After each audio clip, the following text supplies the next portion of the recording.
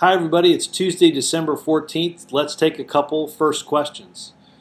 Uh, Bex58 writes Do you think the START Treaty will be ratified before year's end? What are the implications if it's not passed? I do, and the President believes that the START Treaty will be ratified by the Senate before Congress leaves town at the end of the year.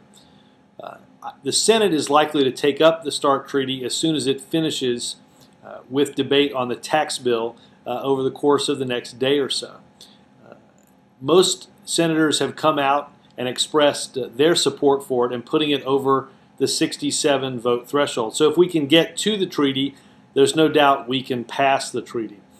The implications if we don't pass it are several.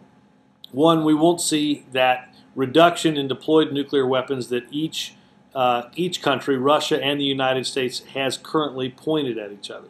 Secondly, since the start, the old START treaty uh, expired, we do not have a verification mechanism which allows us to see what is going on inside the Russian nuclear stockpile and the Russian nuclear program. So without a START treaty in place, we lack a verification regime to understand what they may or may not be doing.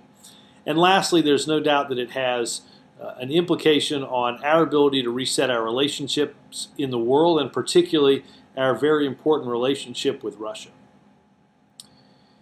Ryan Thompson writes Does the White House think that bipartisan politics are possible after seeing Congress unite to extend tax cuts?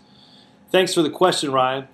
I'd say a couple of things. One, obviously, we've got a couple of hurdles left to go uh, before the agreement gets to the president's desk uh, and we extend middle class tax cuts uh, for the next two years. But I do think the president is heartened that both sides of the political spectrum, Democrats and Republicans, have come together, uh, sat around a table, and talked about what uh, they'd like to see as part of an agreement, and we've taken some concrete steps to move that agreement forward. That's what we need to have happen in Washington, particularly in a Washington that's partly controlled by Republicans and partly controlled by Democrats, if we're going to make significant progress on the issues that concern the American people the most. Thanks.